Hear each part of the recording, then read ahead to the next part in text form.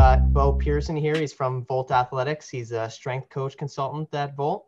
Uh, he's got an extensive background in, in sport performance and team operations. He's consulted with over a thousand high schools, coaches, professional teams worldwide.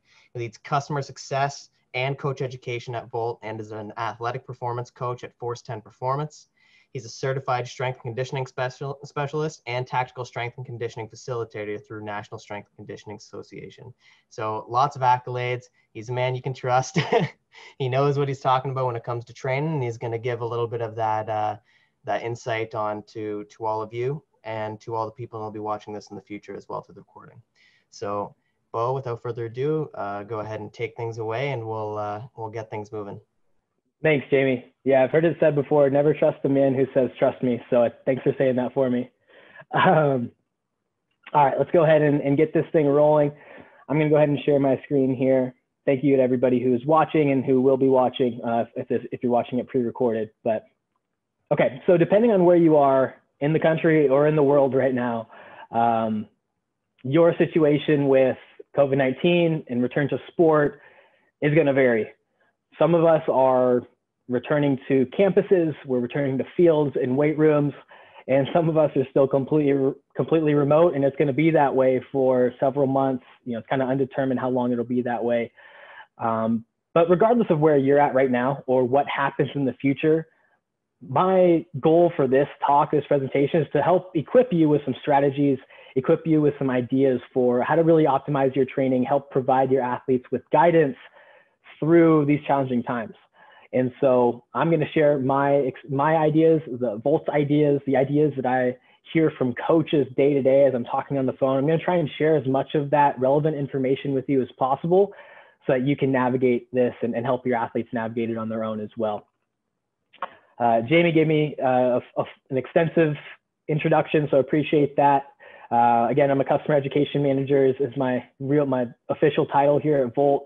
What that means is I work with coaches and athletes uh, within the realms of high school and college and professional sport, also within tactical spaces of military, law enforcement, fire. Um, I work with a lot of those coaches who oversee training and actually implement Volt with their athletes or professionals. And so uh, a lot of the information that I share with you today, they might not be my own ideas. They might be ideas that I've gotten from other coaches that have worked for them. And so I'm going to try and share a lot of that with you.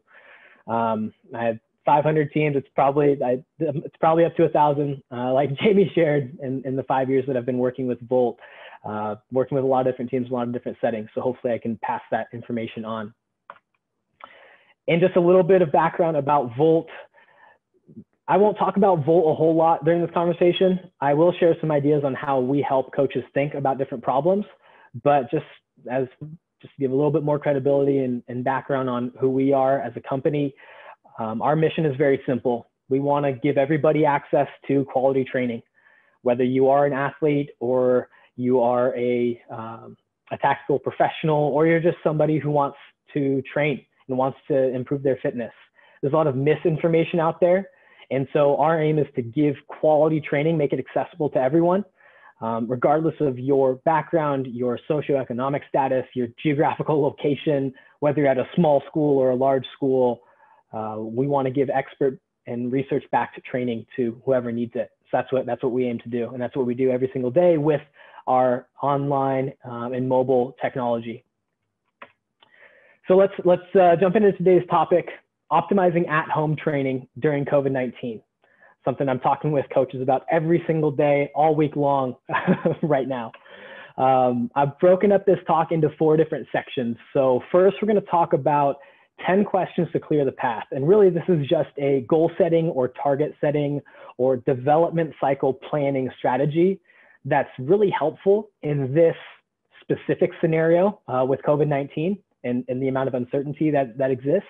But also, this is a framework that I believe coaches can implement and athletes can implement whenever they're trying to plan for uh, their athletic endeavors or their, their milestones that they're shooting for. So I'm going to try and lay out this framework of 10 questions that'll help people think through their processes and institute a, uh, an effective plan. Number two, I'm, I'm going to talk a little bit about expectation setting on behalf of the coach and why keeping it real is the best strategy And this will be a little bit shorter section. I won't dive in too far with this, but um, there's just a lot of a lot of learning that I've taken away in helping coaches form their strategies and set expectations that I'd like to share with you so that you can do it effectively as well. Number three, we're going to talk about more specifically at home program design. What does it mean to put together a development program if athletes are going to be in a confined space or have access to limited resources? And then number four, we're going to dive into return to sport. Eventually, all of this, eventually, we're going to get back to sport, right? This isn't going to be forever. There might be nuances um, that that change how we do things in the future, but eventually, we're going to get back to sport and we're going to get back to competition and training. And so, when that happens, we need to make sure we can do that safely. We know that the beginning of any sport season is when athletes are at a very high risk of injury um, because they may or may not have put the time in before the season to prepare themselves physically. They might, might not have had enough time to do so.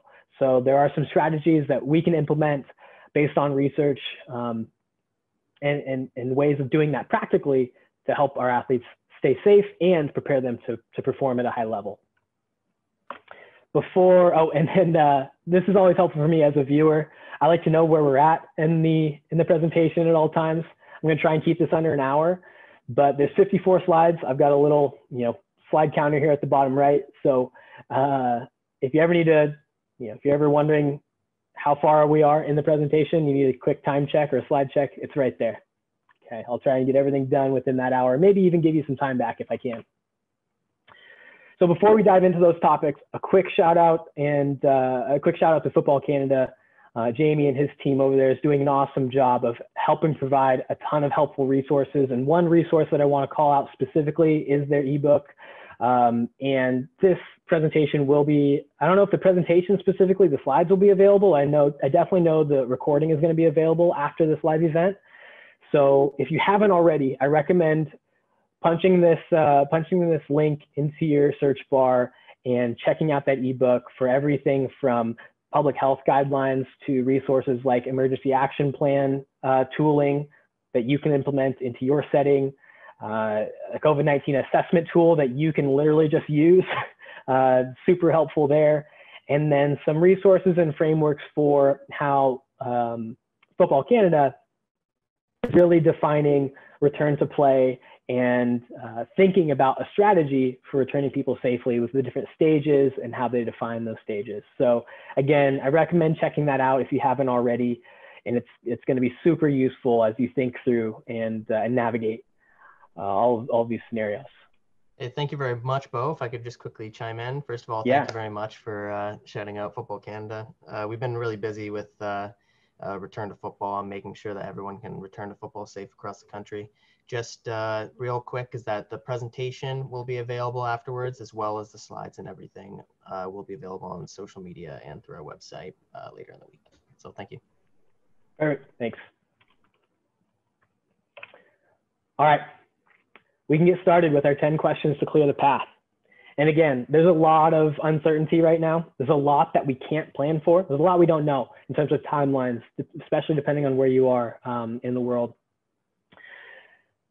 and the I, I, included a little quote here ambiguity is the enemy of accuracy. If you don't know what your target is or if that target is constantly moving and it's and it's unclear you're a lot less likely to achieve success. So how do we how do we control the things that we can control? How do we aim for a target based on the information we have access to and set ourselves up for the most likely chance of success? And that's what i aim to do here with uh, pre presenting these 10 questions Again, this is something that you can think about as a coach as you're forming your plan and also something you can recommend to your athletes to help them think about their own plan for their own development. And so number one is where do I need to be next season?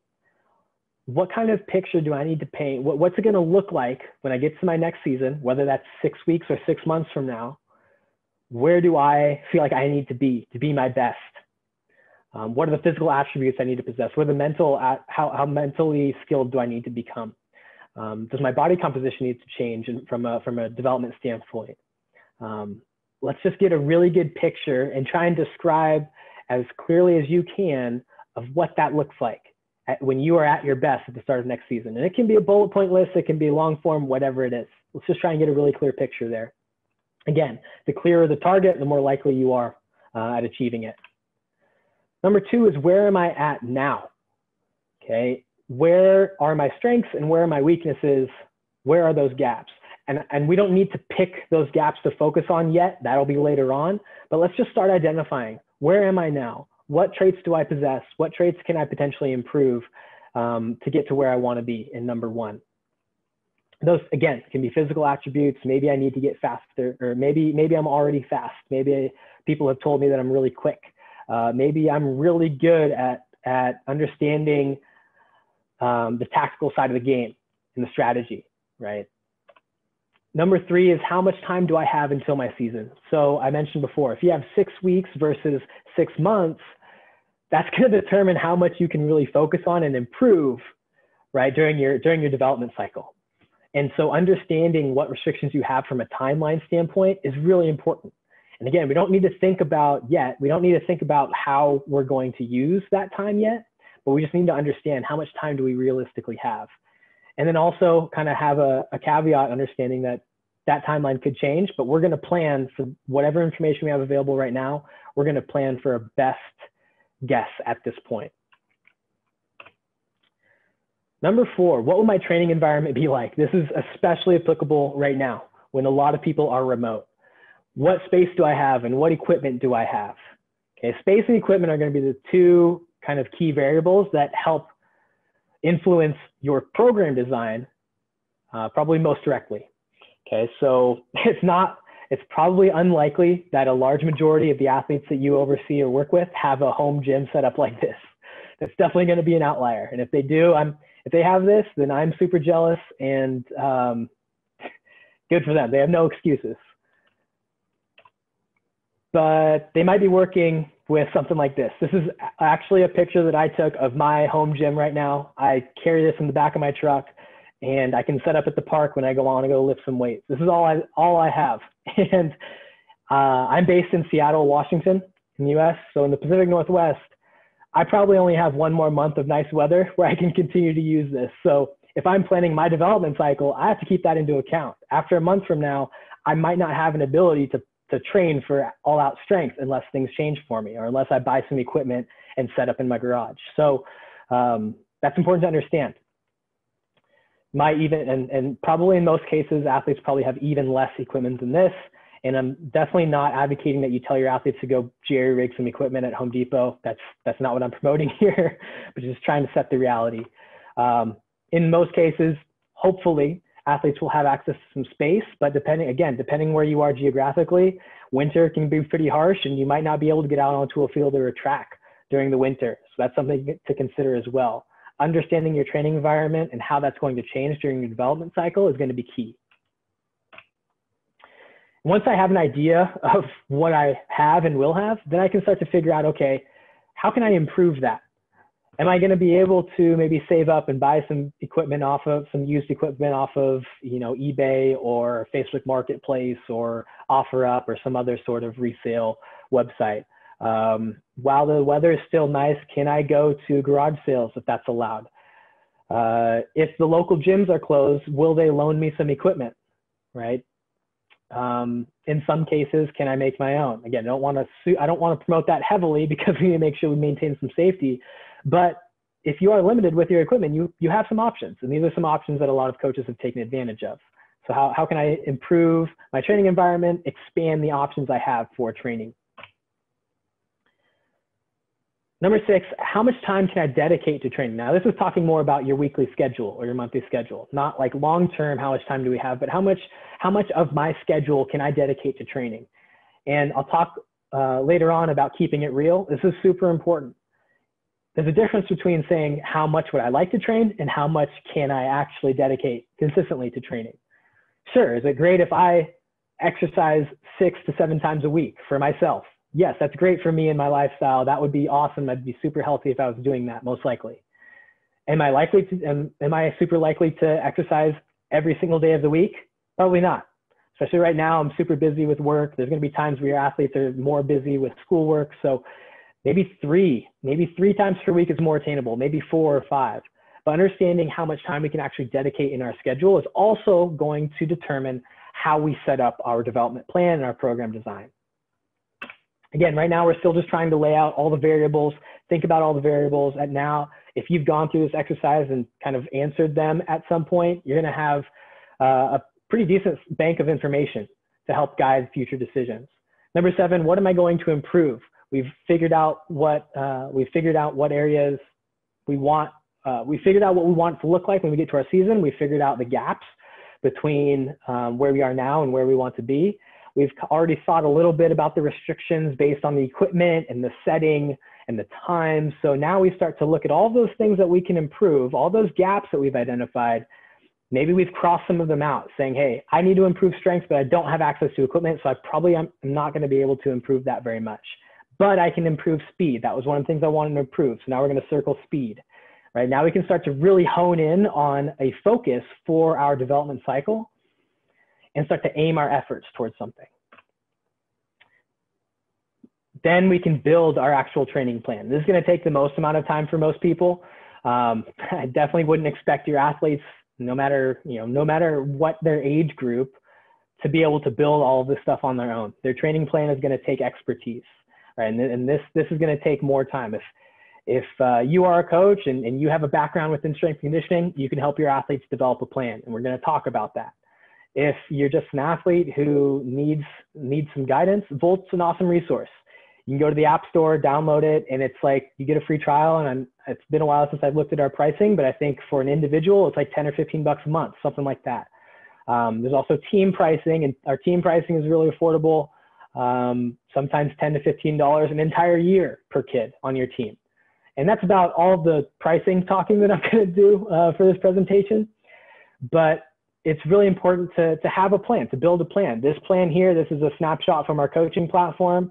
Based on the dates of, uh, of this timeline, we've built out a periodized schedule with different training focuses um, and different blocks of, uh, of emphasis to take an athlete from where they are now, starting in a foundation block, very rudimentary movement, uh, very much like body weight movement focus to kind of get them rolling back into things going into some lean muscle mass development, strength, and then power as you get closer to your season. This is all super important to plan out. You need to have a progressive plan that develops athletes based on the timeline that they need. And once we have that plan, let's try and figure out what obstacles are going to stand in our way. We talked a little bit about weather.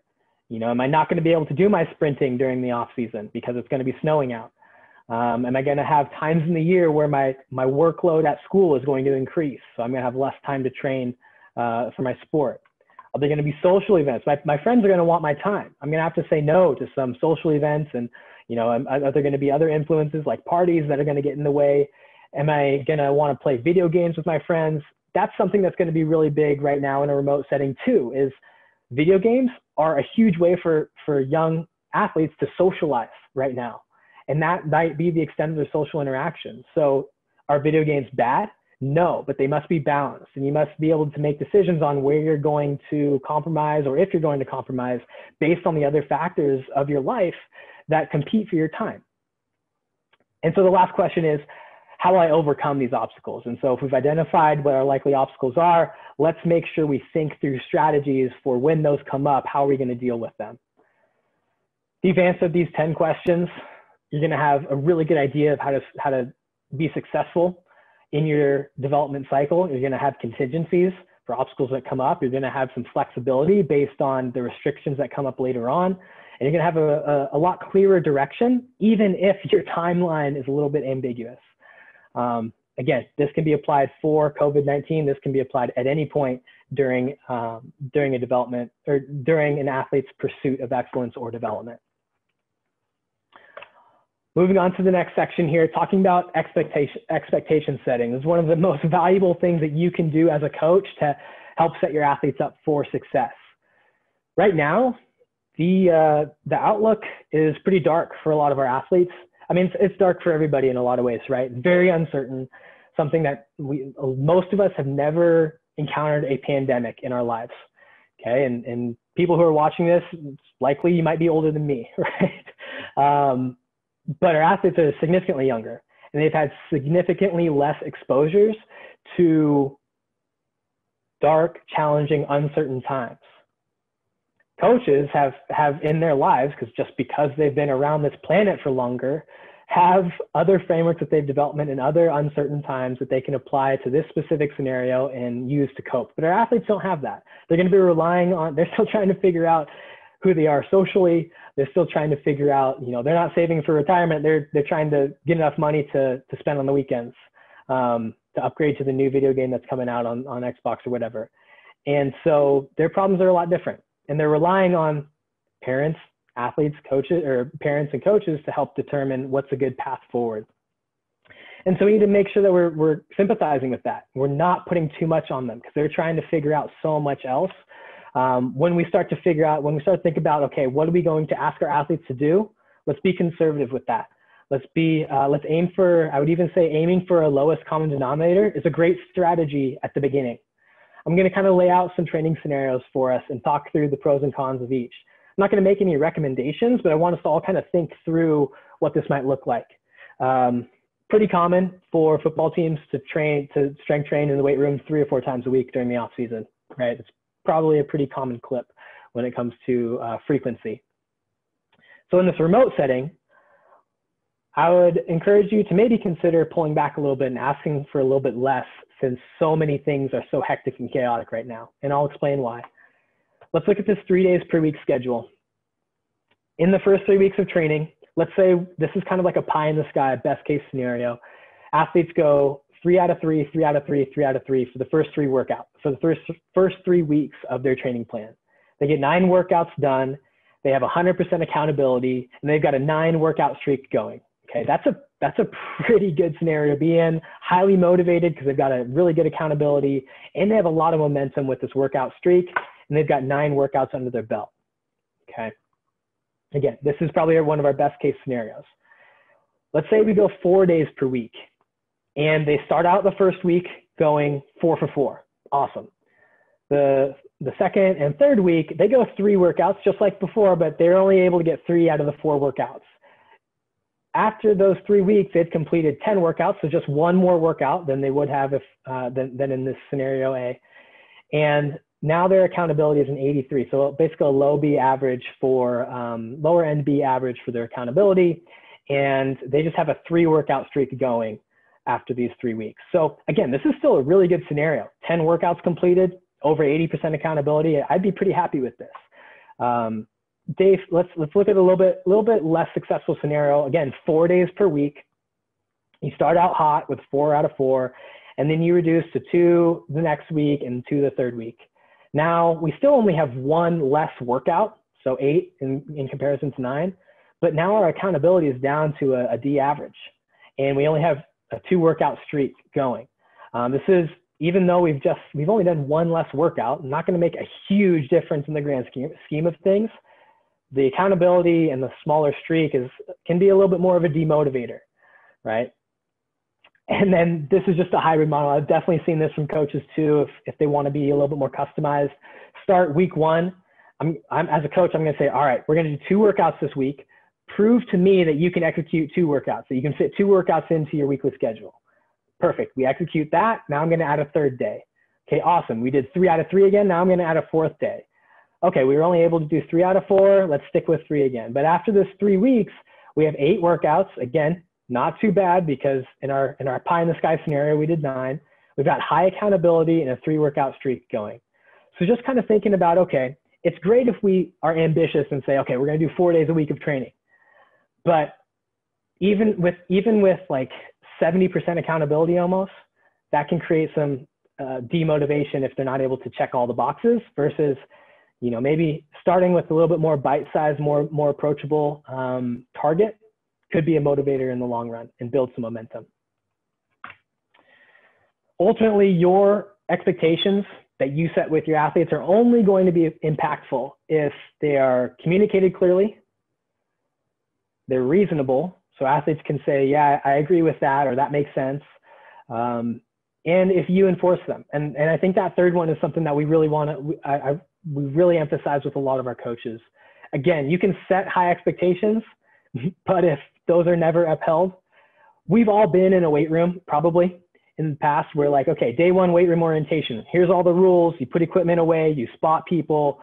right? You rest between, you know, while you're uh, while you're resting between sets, you're doing some mobility or whatever it might be, and then by the second week, you've got weights everywhere. Athletes aren't spotting each other, and that's all a result of not enforcing those expectations. Additionally, um, it's going to be pretty tough for you to continue to enforce expectations if you're setting them too high, right? If you're saying, all right, we're going to go four days of training per week, but only a third of your team actually does that, what are you going to do with the other two thirds? Are you going to punish them? I mean, their, their football season's already been delayed or canceled. So again, we, we need to make sure that we're setting ourselves up to be successful in helping our athletes achieve these expectations. Um, because ultimately, these goals, if, if your athletes don't find them meaningful, then they're just goals that are important to you as a coach and not to the team. So hopefully, hopefully we can have a good sense of our team and what we're capable of doing. Start small, stack up those wins for your athletes so you can continue to help motivate them to achieve more in the long term. Um, and my last piece of advice when it comes to helping your team, uh, helping set your team up for success, this is a piece of advice that we share with our coaches, whether you're in a remote setting or not, is picking a time and a place, specifying a time and a place for your athletes. Because even without COVID, even when people are on campus, some people have weight room time built into their class schedule. That's great for them. I definitely didn't have that in high school. That would have been really nice. Uh, it'd be really nice as a coach if you had football class, right? but that's not the case everywhere. Sometimes you have to figure out before school or after school or maybe a blend of the two. But if you think about it, your athletes, from the time they step on the bus or arrive at school to the time they get back home from school or from practice, in a normal setting, their day is pretty much planned out for them. They don't need to think about how they're going to shuffle their different tasks throughout the day because their schedule is pretty much set. Now we're asking them to set their own schedules in a way unless we help them by setting up some structure. And by setting up that time in a place, even though it's going to be tough for you to, you know, you're probably not going to set a time and a place that works for everybody. You can try and find, again, the lowest uh, common denominator, picking a time and a place, maybe working with outliers one to one to figure out a time to keep them accountable. And um, set the expectation that, hey, this is something we're going to do as a team at this time. If you can't make it, we'll work something else out. That's going to be super helpful for uh, helping athletes actually execute on their training. All right, uh, quick time check. Perfect, we're doing pretty well. We're gonna switch over to the actual at-home training design. And the best way to focus your efforts and, and have a good return is to focus on what you can do. Focus on what you can do, what you are able, what equipment you have access to, what space you have access to, a lot of this stuff I'm kind of repeating for emphasis, but focus on what you can do. And also that's a message that you can share with your athletes um, because there is a lot that they can't. But if we focus on what we can do, we control, we can control, and we can stack up the small wins. Again, I can't emphasize that more um, as a motivation tool, as a consistency tool. Focus on what you can do when you start, when you sit down and start to plan your training design. If you have weights, then you can focus on getting stronger right? You can focus on getting stronger. You can, if you have a way to externally load the system, you can focus on uh, power development, lean muscle mass development. You can do all the things like work capacity as well. But having access to a way to externally load the system affords you the opportunity to train to get stronger. If you have space, then you can get faster. You can sprint. If you have 60 yards of sprinting space, that's pretty much, that's mostly all you need if you're trying to train a football athlete to get stronger or get faster. Uh, sprinting distances outside of that are pretty uh, pretty far and few between. And the bulk of our work is going to be spent within those shorter distances. So if you have 60 yards to sprint, um, that's going to open up a lot of options for you with your program design, and you can get your athletes faster if that's something that they need to do. If you don't have weights or space, if athletes are going to be confined to their living room, uh, if they're confined to a small, like literally a yoga mat space, think about a yoga mat space they can still improve work capacity. They can still improve muscular endurance and stamina using circuit training. Okay. And again, all of these things you can do within Volt very easily, but you don't need Volt necessarily to still be able to create a plan, right? Based on your background. These are, no matter your situation, we can still focus on certain things to improve and set, set our sights on specific targets. things that you, things that your athletes can always improve. Mobility, and mobility is not just stretching, right? No, mobility is not just having passive ranges of motion, but being able to have control and active ranges of motion. So getting into these, you know, I can lift my arm overhead, but what can I do here? If I need to catch a ball overhead, can I actually catch that? Can I break a fall if I have an uh, out, outstretched arm? Am I able to stabilize myself? Same thing with my hips. Mobility is having active control in those full ranges of motions. And that's something we can do regardless of what equipment we have. We can always focus on improving our nutrition and our hydration, game changer that we'll talk a little bit more about nutrition and sleep hygiene later on, but sleep is another thing. We can improve our sleep habits. Mental skills, sports psychology, these are areas that we can improve as well. Uh, overall stress management and lifestyle, incorporating mindfulness. Uh, these are all opportunities that we have to improve in our living room. And then overarching, we can improve consistency, sticking, creating a plan and sticking to it, right? Developing high performance habits. These are always things that we can improve that are always within our control. So when we talk about training desi design, I'm going to talk about like the thought process that our Volt coaches go, go through as they're setting up their plan for remote training. So the simple design here is, um, is the first scenario that I'm going to go through. So with your team, whether you use a, a poll or a Google Sheet or whatever, just ask binary, yes or no. Divide your athletes into those who have equipment and those who do not. Okay, so they, now you're going to have two lists of athletes. Then you can create two programs. Obviously, if somebody doesn't have any equipment, they're going to be on a body weight training program. If somebody does say that they have equipment, then maybe you could put them on a, uh, a regular football program that utilizes dumbbells and maybe barbells and whatnot. Those are things that you can do very easily within Volt. Takes two minutes to set up. Okay. For those athletes who have equipment, because that can mean a multiple, multitude of things, if you have equipment within Volt, those athletes can just go into their settings and just tell Volt what equipment they have access to and what they don't have access to, and Volt will make those adjustments. So if they don't have a barbell, but we're asking them to do barbell back squats, they indicate that on their settings, Volt will say, okay, instead of barbell back squats, we're going to have you do dumbbell front squats or dumbbell goblet squat or whatever it might be. Okay, so that stuff happens automatically. If you don't have Volt, you can then develop a program and give your athletes options. Maybe A option, A means equipment, B means no equipment, or A means barbell, B means dumbbell, and just have those contingencies, contingencies in place to allow athletes to self-select. There's there is going to be some level of adjustability that you'll need to maintain if you're building your own program and you want it to be applicable based on setting. So that's a simple, simple route. Yes or no with the programs, and then just create two programs. Uh, a little bit more complex here with our intermediate approach. Find out who has equipment, who does not within each of those categories.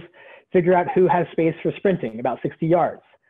So then you'll end up with about four different programs, some that have equipment, some that don't, some that incorporate a sprint development plan and sprinting, and some that do not. And now you can divide your team into four different programs and address more elements that are more specific based on what equipment they do or do not have access to. And then the more complex scenario here, uh, this is a little bit more Volt specific, but definitely something you might be able to do as well is, again, binary yes or no. No athletes go on a uh, bodyweight program, and then yes athletes, you can build position specific programs for QB, skill, big skill, lineman, kicker. Maybe you do a, a, inter, or a novice and then an advanced weightlifting program. A lot of different ways to, to, to cut the cake but, or to cut the pie, but um, this just, again, allows for a little bit more complex or more, a little bit more individualization uh, based on the needs and the capabilities of your athletes. All this stuff, again, is really easy within Volt. We show you how to do it, and it takes about two minutes to create any one program. And then that just goes, that always creates an entire year of training. So it goes with your athletes throughout the entire year. And if your timeline changes, you can just go in real quick to Volt, switch your, your season dates, your season start date, season end date, and then we recalculate another year of training based on that new timeline. So it's really, really easy. No matter what you're doing from a program uh, design standpoint, no matter what, how complex you're making it or how simple you're making it, these are three principles to help guide your program and ensure safe training. If you are a strength coach, then you're definitely going to be familiar with these. Uh, progressive overload, concept we'll talk a little bit about later in the return to play section. Uh, emphasizing rest and recovery. Again, we'll touch on that later as well. And then simple to complex. This is basically just saying when you are selecting exercises, when you're selecting movements, as we like to call them, you have a progression of difficulty built in. You're not just throwing athletes into back squats right away because they need to learn that. Even if they're if they're experienced in the weight room, they're coming off of a period of, uh, of extended inactivity. We need to make sure that we go and master the basics before we throw them into complex movements like back squats and hang cleans. So an example might be for your for your squat progression, you might do body weight squat, dumbbell goblet squat, dumbbell front squat, and then maybe a back squat. Maybe even do a barbell front squat before you go to a back squat. Okay, um, that's an example of how we go simple, simple exercise selection to complex over the long term to help set athletes up for success and execute specific movements uh, properly.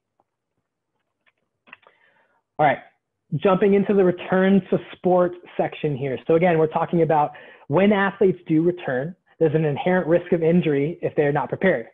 That's pretty logical and intuitive. And sports science really uh, opens up some insight into how to manage that setting uh, appropriately. There's a, a, quote here from our uh, head of sports science, Dr. Joe Eisenmann, and you'll have to forgive me for reading directly from the slide, but I thought it was too good to, to try and summarize on my own. Um, he writes in a recent article, as athletes come back to the playing fields, gyms, and weight rooms, they are coming back in all shapes and different fitness levels. Some have transformed their bodies through internal motivation, support from their coaches and parents, and perhaps access to good equipment or creative resourcefulness of other implements, kind of like you saw uh, in my in my concrete gym, uh, to challenge the body. And yet others tried to defy physiology and or ignore the concept of detraining and use uh, the use it or lose it idea and are back to square one or potentially even minus square run, square one. Okay, so there's there's the reality check is that your athletes are going to come back in all different areas of fitness, levels of fitness. Some are going to be fine, some are going to be the same, some are going to be worse. And we need to account for that. A quick case study here. We can learn, we can take some learnings from um, situations in the past that share some similarities to the one we find ourselves in now. You've probably seen this. This has come up recently just because it's it's topical. But the uh, 2011 NFL lockout season, and um, this specific article will this link will take you to an article in the Journal of Orthopedic Sports and Physical Therapy. In 2011, the NFL preseason was reduced from 14 weeks to 17 days due to a lockout. So essentially, during that preparatory conditioning phase, what normally happens is that all athletes get access to their entire, pretty much their entire uh, sports medicine staff. So strength coaches, therapists, nutrition, all of this stuff, mental skills coaches and specialty coaches, 14 weeks leading up to the start of training camp. Um, a little bit different. That timeline is a little bit different now. I think it's maybe nine because the players union went back and forth. But anyways, that's what it was prior to 2011. Due to the lockout in the year of 2011, that was reduced from 14 weeks to just 17 days. So athletes were on their own up until 17 days from training camp. Um, and so a bunch of injuries occurred. From uh, just to provide some context, from 1980 to 2001, NFL average of uh, Achilles tendon ruptures was about four or five per year. Again, from 1980 to 2001. In 2008, uh, and nine, and then 2010, 2011 season. So basically closer to that lockout season. Uh, the NFL had six and 10 Achilles uh, ruptures per year, per respective year. Okay. So that's, that was happening across the entire year measured by, um, measured by the NFL. That year of the lockout, where the preseason was shortened significantly, there were 10 Achilles, uh, Achilles tendon injuries during the first 12 days of training camp because guys were not prepared. They had not had enough high, high stress exposures leading up to that training camp to allow them to actually participate at game speed or training speed without injuring themselves. Um, so it just goes to show, this just goes to show a kind of another uh, example that I'm going to talk about here from, from sports science. It's going to take time for your athletes to adapt to that level of performance that they need to, that they need to have that level of work capacity that they need to have to be able to actually be safe and perform, uh, have high performance in their sport. The terms that Dr. Tim Gabbett and his team, uh, who's a sports scientist, he's actually based out of Australia, uh, use to kind of explain this, uh, explain this topic is the floor, the ceiling, and time. I'm going to try and get this quickly because because uh, we've got about 15 minutes left here. But the floor, the ceiling, and time. So in situation A here, the floor represents where an athlete is starting, where we're at at this point. Okay, and the ceiling represents where they need to be to perform at a level that is that uh, ensures high performance and safety, injury mitigation, and in reduction of injury risk. So this might be six weeks. This timeline might be six weeks, whatever it is. There's a certain amount of time that it's going to take to get your athlete from here to from the floor to the ceiling. Now you can't rush. You just can't. You can't rush that timeline. There's no way that you can speed up time. It requires time. It requires a certain number of exposures of stress and a certain amount of time for recovery from that stress in order, in order to progress your athletes to where they need to go. You can't just get eight weeks of development squeezed into three. It just doesn't work that way. In fact, when we try to do that, we get a high spike in, uh, in workload, and that's when we expose our athletes to injuries. So what can we do, right? If, if uh, here's the scenario that we're going to probably find a lot of ourselves in, a lot of our athletes in once they return to sport. Their level of performance might even be lower than what they normally would be. They might be in the basement, okay, in the basement. And so what we're going to have to do is kind of spread out this time. We're going to have to afford ourselves more time to get to this, this level of performance. Um, so how can we do that? Well, we can maybe start our training earlier. We can maybe push back our target for, for high performance. So like if you're still going to be starting your, if you're going to start um, working with your athletes and you're going to have four weeks before your season starts, well, your first game might be here. And that means that you need to maybe reduce the number of plays that each, that each, uh, that each athlete goes through during the game. You might need to spread that workout out, workload out, and then maybe two or three weeks later, then they can be at full capacity. Same with your practice plan, same with your conditioning plan, right? But the, the key takeaway here is you can't rush this timeline you need to either start earlier, you need to delay the, the target a little bit, or the most effective method is to just your, raise, raise your floor. Okay, if athletes are able to start training now and maintain a high level, level of performance, then the space between your floor and your ceiling is reduced and there's less improvement that needs to happen in order to get your athletes to be, to be safe. High training workloads alone don't cause sports injuries. How you get there is the real issue. Again, it's, it's how you progress your athletes during that timeline. I mentioned before, if you, what, the, what this infographic kind of displays is that the greater change in workload, so if you're starting at zero here and then you introduce 5% more work the next week and then 10%, that's probably going to be okay. Your, your, your risk of injury is only going to be so much. But if you start to increase that significantly, the more drastic the spike in new workload, the higher risk of injury that you're going to expose your athletes to. So it's not necessarily exposure to high training workload, it's just how much you're doing within a certain amount of time. I think a lot of a lot of coaches and sports scientists have a disconnect because um, coaches might think that that sports scientists are against high like hard work, hard work. uh, and that's you know that could be due to a lack of communication skills on the part of the sports science, lack of understanding on the side of the coach.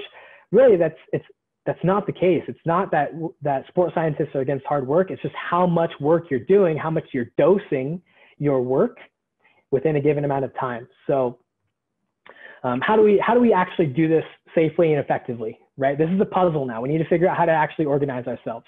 Progressive overload is a concept that basically just talks about introducing incremental amounts of stress week by week or, or over time. So a quick refresher, progressive overload. This is Milo of Croton. This is basic strength conditioning 101.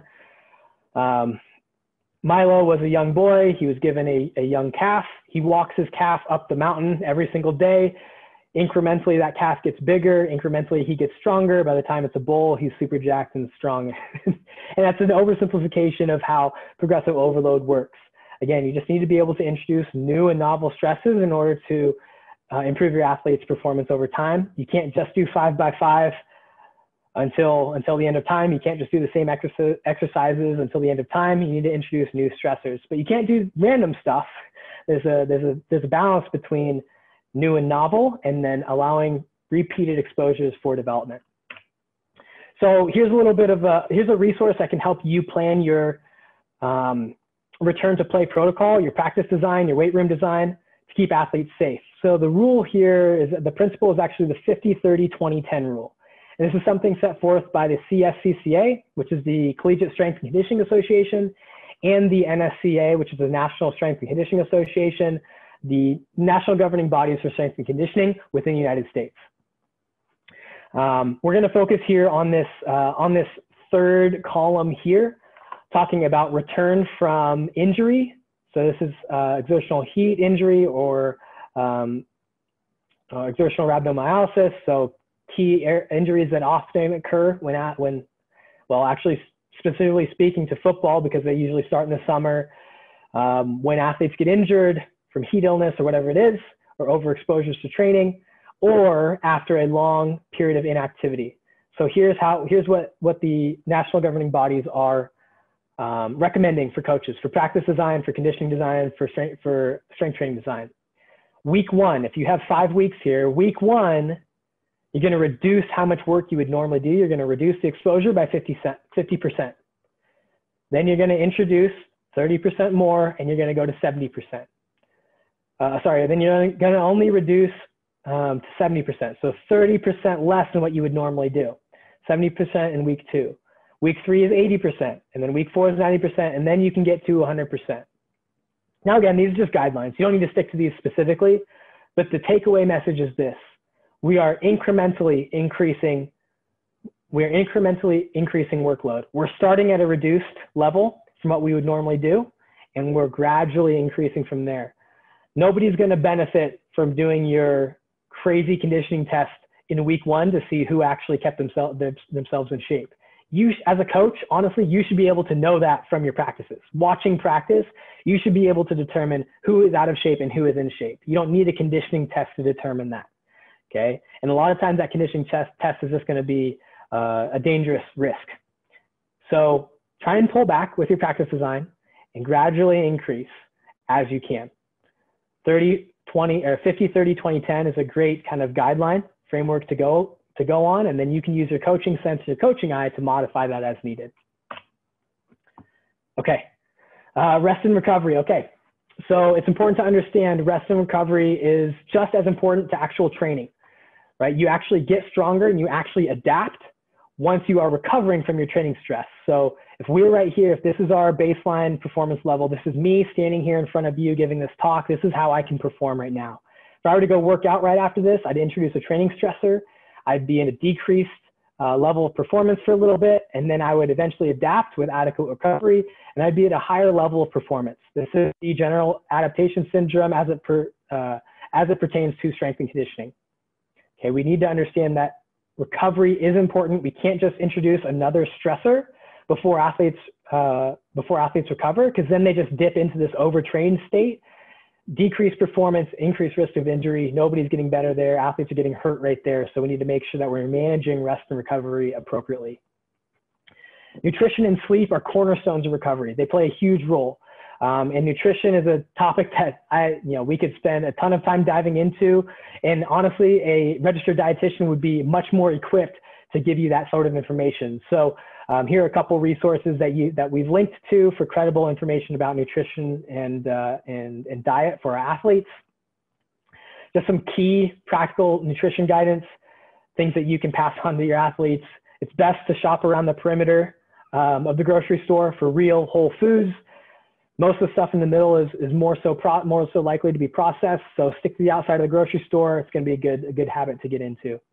Um, another habit is keeping snacks with you and fueling, uh, fueling your tank before and after, filling your tank before and after practices. And paying attention to your hydration levels. We know that light colored pee is usually better. Dark colored pee is usually worse. It means you need to hydrate. So um, those are easy, easy things that you can control and that you can start to implement within your, your daily life as an athlete. At no time in the day are you recovering better than when you are sleeping, hopefully. Hopefully that's the case. And not only do we need to focus on how much sleep we get, but we need to focus on the quality of that sleep to really maximize uh, the work that we're doing when we're not sleeping. So ways to do that, your body, body really likes rhythms. So try and get into a consistent sleep and wake schedule so your body can be more predictable for when it needs to go to bed and when it needs to wake up. Signal your body into bedtime mode with a power down routine. Again, talking to the rhythms. Just like you might have a pre-game routine to get yourself into the right state of mind, hype your body up a little bit. We do a warm up before we lift. We need to prime, prime our body and our nervous system to perform. Same thing with when we want to uh, power down. It works in the same way.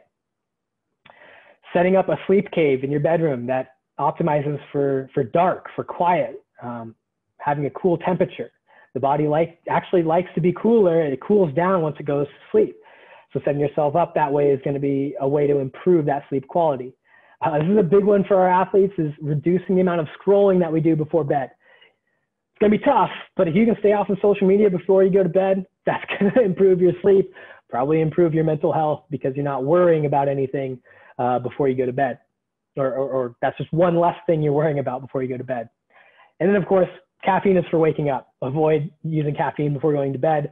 I like to cap my caffeine intake at like 2 or 3 p.m. because I know if I go any later than that, it's going to affect how, how easily I can fall asleep. So really easy takeaways there. So the third component here of return to sport um, I'm going to talk about is individualization. So thinking about individualization for your athletes from a programming and from a response standpoint. We mentioned before, your athletes are going to be in different states of, of performance, different states of fitness when they return. So if we just give everybody the same program, we're going to run into some big time challenges. So we're responsible for pulling back when we need to to account for diff- for those differences. So ideas for for the programming element of individualization. Um, program design with novice and advanced movement alternatives. Again, within Volt, you can create level one programs for more novice, level two programs for more advanced. You might just end up creating different programs based on, um, you know, freshmen versus seniors or frosh versus upperclassmen, whatever it might be, you can set up different movement progressions to account for their proficiency in weightlifting skill. Um, another way to individualize program design is to load athletes based on rating of perceived exertion. So instead of having to prescribe based on what one rep max is, you can say, and, and this sounds too simple, be, simple to be true, but it's backed by research. It is practically viable to say, okay, I want you for your sets of back squat or your, your sets of um, lunges today. I want you to do four sets with uh, 10 reps at a difficulty of seven out of 10. Right? And that's a way to program that becomes relative to each individual versus going strictly off of percentages with estimated one rep maxes. Um, you can also provide choices for pre-workout primers or finishers, so you give athletes a little bit of autonomy. Again, this is probably for your more advanced athletes, maybe later on in your training plan, but if you can allow them to say, okay, between your warm up and between your workout, you can choose to do a mini circuit if you need to do some ACL injury prep, or you need to do some hip mobility, or you need to open up your, you know, you need to do some thoracic spine mobility. Go ahead.